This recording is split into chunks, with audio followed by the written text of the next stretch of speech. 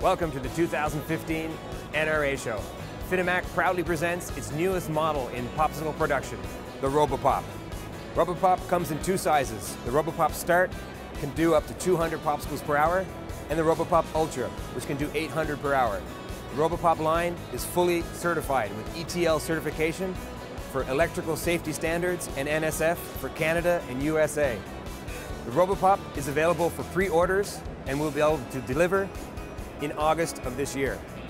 We've just opened a new office in Miami, and coming next is a warehouse where we'll be able to offer good technical service and courses and classes to give better customer service to our North American customers.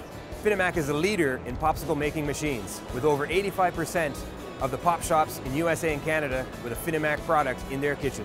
We specialize in frozen treats, and we have products such as ice cream machines, single batch freezers, pasteurizers, and continuous freezes as well. Let Finamac create your dream and open your pop shop now. We have some salespeople waiting online. Please contact us at www.finamac.com.